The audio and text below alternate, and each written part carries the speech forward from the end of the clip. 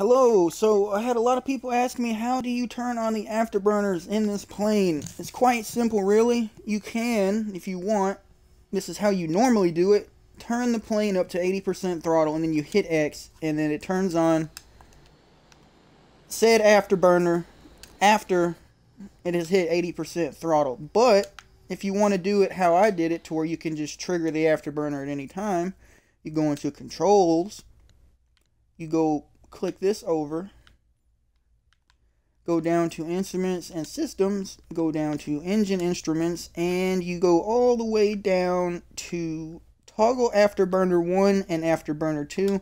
Set that to any preferred key you just, you know, choose or just use A like I did. And bam.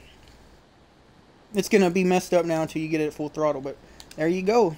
You now have full control over how much afterburner you can use.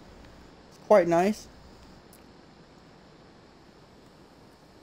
You can also, if you noticed, get the jet fighter pilot instead of the guy with the hats and glasses by going into the menu and changing your uh, avatar to the default setting. So there's there's two for you guys today. I hope I hope I helped by showing you that. This uh, F-18 is quite the monster. If, in my opinion, it's pretty damn pretty damn good. So I think it has the best afterburner effects. But uh, I'll keep it short and simple. You guys have a great rest of your day.